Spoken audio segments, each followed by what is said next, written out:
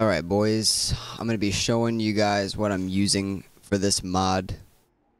Uh, the first half of this video is probably just going to be straight to the point. Uh, and then I'll, I'll save, try to save my rambling for after I show all of what it is. So that way, uh, for those that don't really want to hear any of my tips or advice for PvP, that just want the build and a, a very simple breakdown of the build, uh, I will try to satisfy you guys first. So I'll go through all my pieces of gear here. All of my utility slots uh, are going to be darks, or at least they should be darks. Um, if you'll notice, I have a reinforce on uh, for deflection. That's probably going to be your your thing here. You'll see a reoccurring theme with deflection. I'll show you all my offense. Uh, should be vicious, although I don't think that they are because I was swapping some enchantments around. I don't know where it is. Um, Valhalla. I, I get a lot of people asking me why Valhalla or uh, why not be using demo. Like a lot of people think that, you know, since I'm DPS, I would be using the demo set. And, you know, you're kind of right. It is better for DPS. However, the problem is that um, when you uh sorry um when you um are straight DPS you're not going to be alive very long to do that DPS so this build is kind of more focused on being able to stay in the fight and uh, and still be able to do pretty consistent damage. You know, buff yourself up once in a while to do a, a big heavy burst, um, and be able to you know survive throughout an entire match without you know maybe dying or uh, uh, so I don't have any of these boons yet. Uh, I would assume I would be choosing power for those. Let me just double check.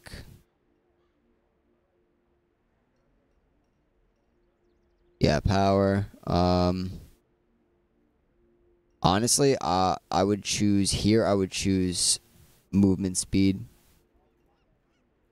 because uh, the reason I, I like to build a lot of movement speed is because I'm not using Swordmaster. I don't really use Swordmaster a whole lot. I'll just run through my, my uh, boons really quick. I don't really use Swordmaster a lot. I, I prefer Iron Vanguard for two reasons. Um, or three reasons, I guess. Uh, the first reason is the daily. The daily uh, the Iron Vanguard daily has two CCs, like hard CCs, that um, also prone the enemy afterwards. And um, you can time it with uh, dodges. Here, let me just read real quick uh, what I would choose here.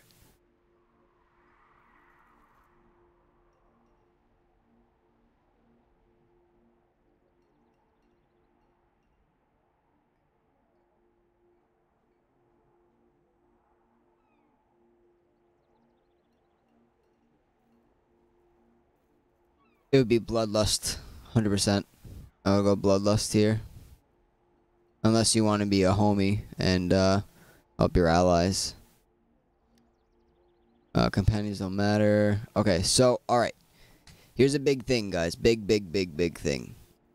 Uh, what really works in my favor behind the scenes all the time is this right here the Providence Heal. Now, the Providence Heal, in case you don't know what this is, comes from the Swift Gold Lion the legendary mount. I know that that sucks. That part of this build sucks. Without the Golden Lion, um, you could really achieve this build. Like, you don't have to have legendary gear. Uh, you don't have to have 14s. You know, getting the getting all of this is realistic. This is realistic. Getting Mane of Manticore it just helps it so that way if you if you adapt to my play style or the playstyle that this build is kind of focused around, um, having Mane is good because you know you do a heavy burst once in a while and pretty good consistent damage. And that leads into the second reason why I like Iron Vanguard is because of Threatening Rush. Threatening Rush has two components to it, which would be the third uh, thing that I like about Iron Vanguard, which is the second component of Threatening Rush, which double marks opponents. So I'll actually, uh, while I keep going on with the build, um, I'll actually show you what I mean. So, uh, let's see. Your main hand, offhand, you know, you got anybody can get that. The gear, uh, my arms, my legs, and my chest piece. There's probably better gear than the gear that I have on. Like, uh, I think Puppet's Plate is better. Um, but I'm not. I'm not really worried about it. So another part of this build that's pretty important um, is definitely going to be the sieging ring. The offensive action ring is really good, really really good. Uh, it's it's it just it's a very interesting ring. I don't know.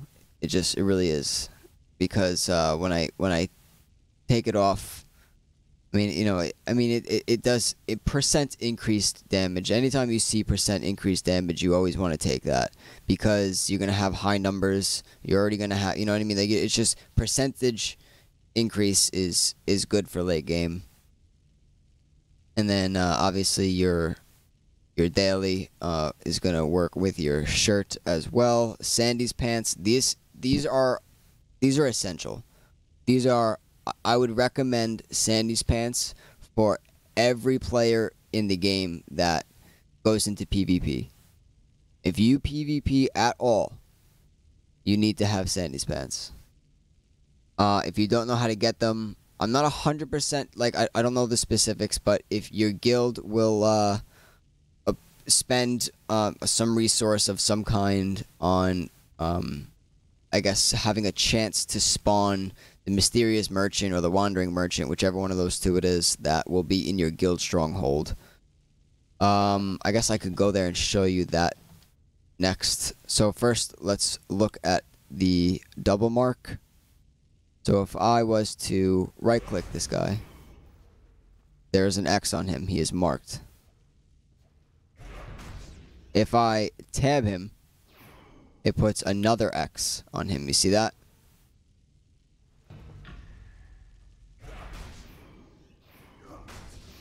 Now, your threatening rush is, uh, first of all, you have no charges on them. GWFs have a charge. I was very sad when they did that a long time ago. GWFs used to be able to do this. Um, so this is consistent damage. Consistent damage. And if you go through and look at my uh, manage artifact powers, I have this set to threatening rush. It will increase the damage done by threatening rush. So like, you know, for every 10 threatening rushes, that's an extra threatening rush, pretty much. Because it's 10% and you can use these very fast. Three, four, five, boom, boom. You know what I mean? And uh, with the boons, it will proc things like Elven uh, Furiosity, which will do extra damage. Um, it will also proc uh, Shadow Touched. Uh, I prefer the healing. So, uh, pretty much for actually I would say a few months I've had the healing on. Um, between you know that some other things like uh, oh sorry uh, my stable I didn't get to my stable. Um, this is really important. Uh, cavalry's warning. This is really really important. Uh, I mean it, it just really is. I, I don't I don't really personally want to break down these a whole lot I mean, they are what they are. A lot of these are evasion. If you look at my stats, I have a decent amount of deflect. If I was to use, let's see, my normal deflect consumables, my deflect would go up to you know 18k that's fine that's really good 18k is really good um what was the other thing? Uh okay gladiator's ghoul this is always working in your favor. So just for reference like for future reference um like even if you're not playing GF in the future or you know whatever, like if you are going to PvP, uh, I would just recommend, um, you know, different things to adopt into your into your play style, like uh, or like you know your your decision making as far as builds go, There's things like this is a very clear example. Gladiator's Ghoul or Guile Ghoul, um, you move faster when your stamina is high, and you regain stamina when it is low. You have a difference between two different things that this is going to be doing, meaning that it has a 100% uptime. So this will 100% of the time be doing something in your favor. So it's it's better to have something always helping you rather than something that helps you once in a while. Now, you have things like, you know, um, Shadowclad, where every once in a while it goes invisible. That's good. That's really good. And the invisibility time around is actually really good. By the way, you can also use Vanishing Presence rings. I would recommend plus four or five. And then uh, Ring of Ambush plus four or five. Along with uh, Shadowclad, and you will have yourself a uh, a terrifying invisible guardian fighter um, that you can just nuke people while you're invisible, and there's kind of like nothing they can do about it, and it's really funny because uh, you know you run in there from an ambush ring, and all of a sudden you pop out of nowhere to them because they couldn't see you. You have ambush ring on, and then they go to hit you, and then vanishing presence procs, and then by the time you're invisible, uh, invisibility runs out from vanishing presence. Your shadow clad will proc, and then you'll be invisible again, and then by that time they're probably dead. So it's really hilarious, and people get mad about it. Um, so you can do things like changing artifacts here. Now, I did not purchase the Forge Hammer Gond. I actually got it out of the Christmas event last year. Um, where's the other? There it is. So if I was to put these two on, I would have uh, 20k deflect. Um, if you don't have Lion and you don't have Providence, uh, I mean, I would just say, you know, use whatever you have. Obviously, you know, use whatever you have. It's kind of a generic response because there's really nothing like, you know, if you have power and that's what you're, you know, if you have between power and armor pen, um, it's not that one's better than the other. It's you have to look at what you have already. So you have to look at what you need more of. So in in PvP, my armor pen, I have not been using these two artifacts. I've been using uh, Great Weapon.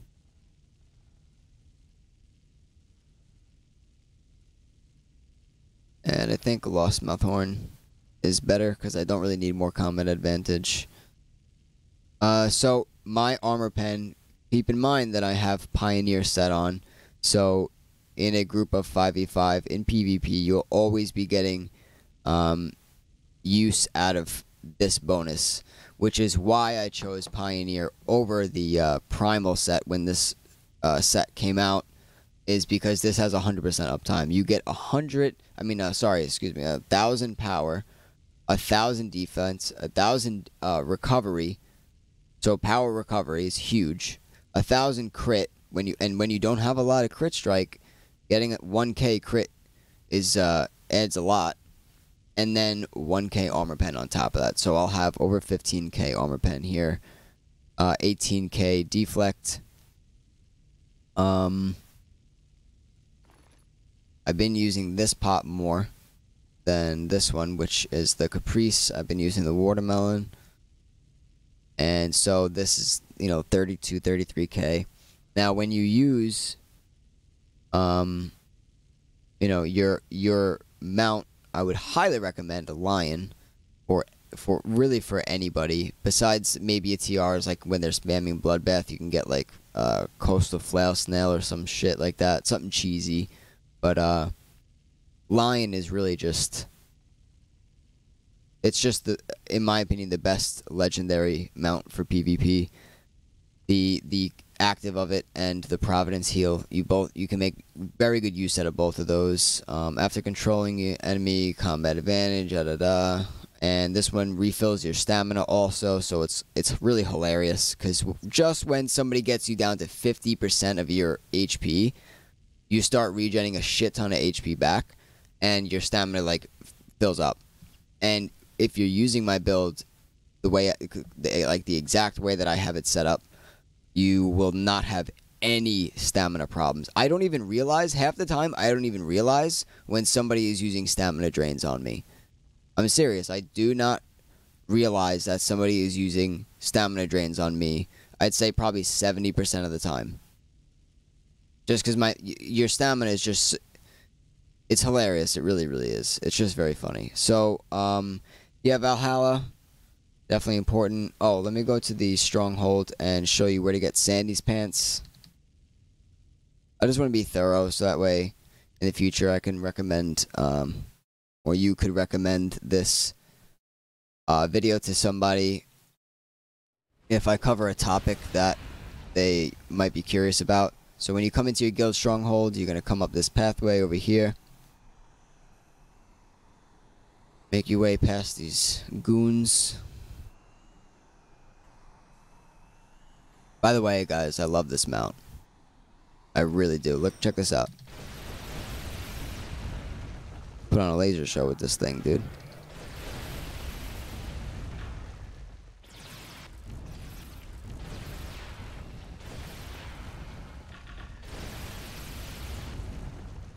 Alright.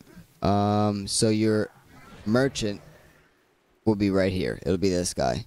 If um, back when every like all the guilds were doing this, I went into all of my guilds in my alliance. So make sure you do this. Make sure you go through here and check all of these. All of them. Don't even ask them. Don't even ask them if they have it up. Just go check every single one. These can be in any guild that's in your alliance. And back when uh, everybody was doing this and making these guys appear, uh, every guild, I went through every single one, and I did not find the this guy with um, the pants. He was here multiple times. I got like the guys of the Wolf Clan headpiece or whatever it was, but he did not have Sandy's pants. So you, what you might need to do, which this is uh, you know, something that I've, you know, people do or have done plenty of times to get this item, Sandy's Pants, is you ask around for a guild that has this guy in the guild active and has Sandy's Pants in it. And you just join their guild real quick, grab the pants, because it costs 20,000 guild marks. So they get a 20k, uh, you know, um, return from you and you get the Sandy's pants, and then you join back into your old guild. Um, let's see, what else was I going to cover? Uh, oh, this is what I have chose for my ability scores. Uh, let's see, anything else while I'm here? Um...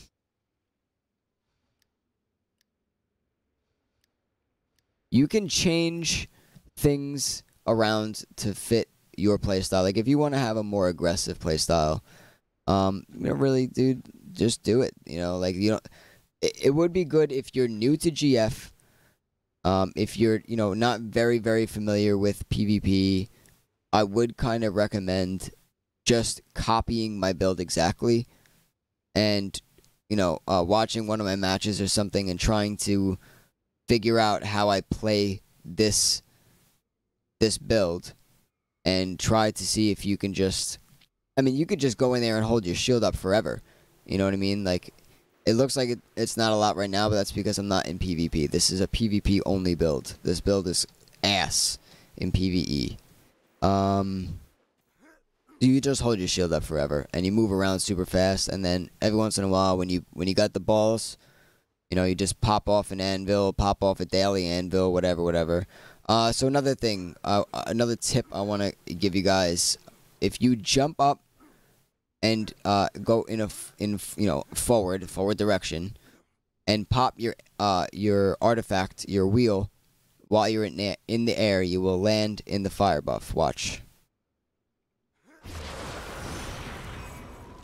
So what you're gonna do is jump up, pop it, and uh, and and uh, put your shield up immediately. So you're gonna jump up and have your shield. So right here, if I jump up, you can't see it because the anim there is no uh, shielding animation for uh, the jump, but you're actually shielding while you jump. So you can jump around and have your shield up, and people will think that you're vulnerable, but you're not.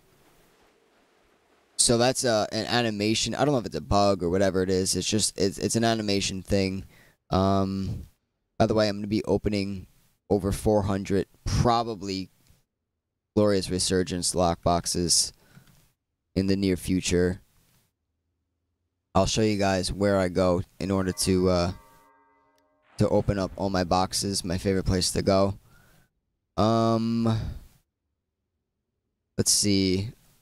If you don't have these rings, if you don't have offensive action ring, you can do the Huntsman Ward ring. This ring is amazing. If you don't have rings, if you don't have good rings to choose from, go in here.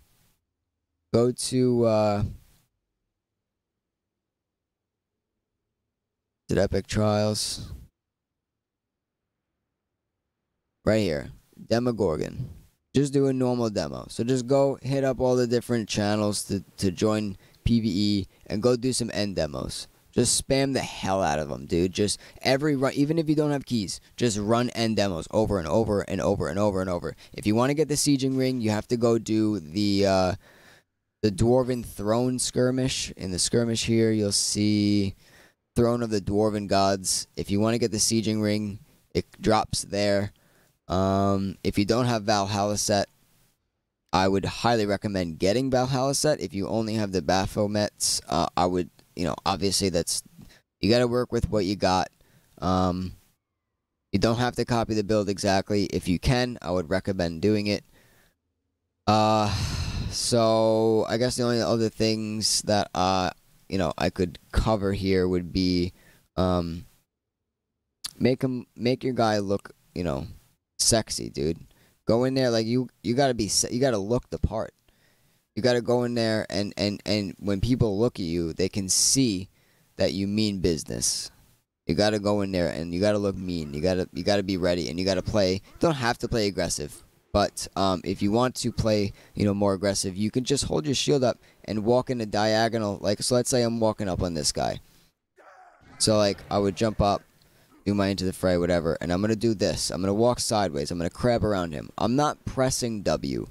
The reason I'm not pressing W is because if I press W and walk forward with my shield up, and somebody throws a lion on me, even if they're in the direction that I'm going towards, the lion will pop up behind me and uh, push me forward towards them. Uh, you it, you know you might have seen that happen, probably have, and maybe you didn't notice, but um, you'll see it a lot in GF versus GF fights. If you uh, or find yourself in another situation or in a situation where you're versus another GF, never walk forward.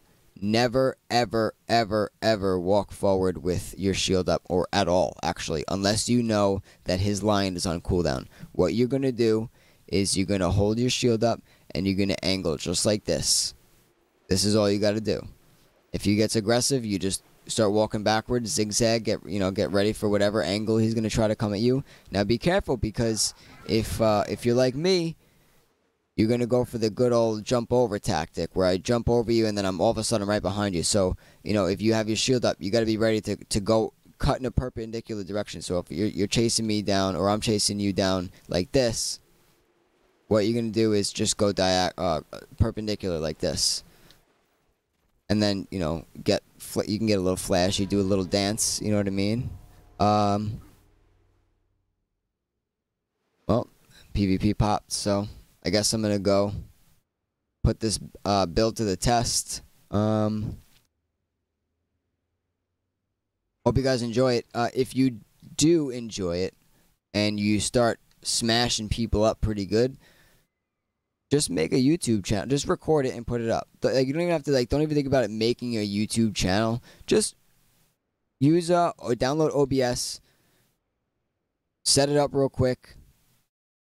And uh and and just record a match. Even if you don't have to upload it, just watch it yourself. You can make it on private, but but record the matches and watch how you how you play, and and and try to learn and evolve. Uh, I'm gonna leave before this uh this match goes in. I hope you guys enjoy. I hope I covered all the uh, topics. If I didn't, just comment or whatever. Or just show up at the next stream or something.